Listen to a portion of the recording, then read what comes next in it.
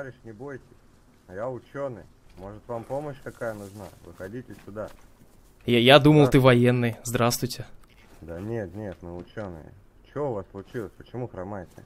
Ну, будьте аккуратнее. Так-то болезни всякие можно подхватить. Возьмите витаминку, будете здоровее.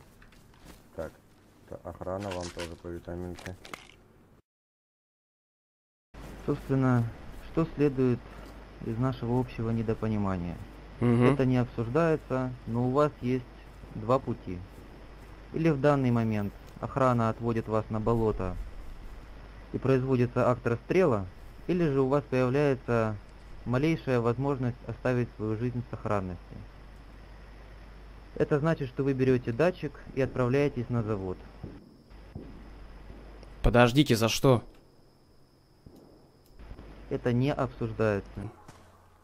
Давай, давай, Под ноги вперед!